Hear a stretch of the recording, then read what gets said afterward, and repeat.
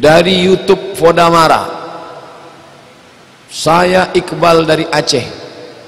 Apakah sah solat kita? Makmum jika tidak membaca Al-Fatihah karena saya pernah dengar pendapat bahawa solat makmum ditanggung oleh imam.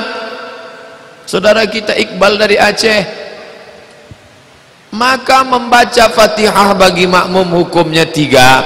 Menurut mazhab Hanafi makmum tak perlu baca dalilnya al-imamu junnah imam penanggung jawab. Faqiraatul imam qiraatul makmum. Bacaan imam sudah jadi bacaan makmum.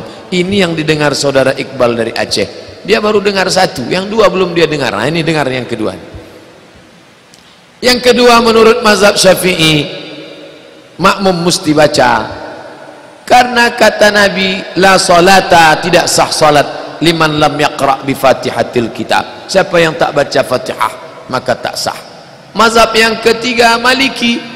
Kata mazhab maliki kalau imamnya baca makmumnya dengar makmum tak perlu baca karena telinganya sudah mendengar. Tapi kalau dia tak dengar solat zuhur solat asar solat maghrib maka dia mesti baca. Jadi mudah cara ingatnya Hanafi mau dengar tak dengar tak perlu baca. Karena imam imam sudah baca mazhab syafi'i mau dengar tak dengar wajib baca.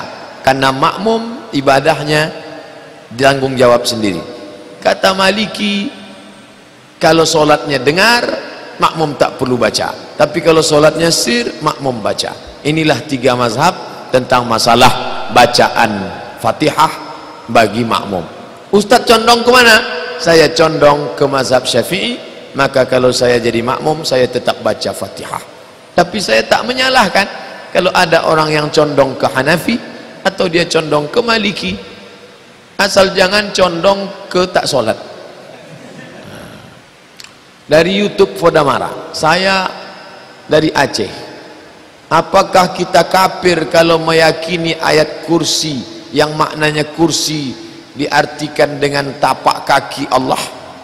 Karena saya pernah baca Quran terjemah yang bunyi tafsirannya makna kursi yang sahih adalah tempat letak kakinya Allah. Tak boleh menyamakan Allah dengan makhluk. Allah duduk di atas kursi seperti aku duduk di atas kursi ini. Kafir. Laisa kamitslihi syai'un. Allah tak sama dengan makhluknya. Dalam ayat yang lain walam yakul lahu kufuwan ahad. Allah tak setara dengan makhluk maka yang dimaksud dengan al-kursi di situ kata Imam An-Nawawi ayat kursi itu mengandung tujuh. Yang pertama al-uluhiyah ketuhanan. Yang kedua al-wahdaniyah keesaan. Yang ketiga al-hayah kehidupan. Allah maha hidup. Yang kelima yang keempat adalah al-ilmu ilmu Allah. Yang keenam adalah al-mulku kuasa Allah. Yang keenam al-qudratu kudrat kehendak. Al-mulku kerajaan Allah.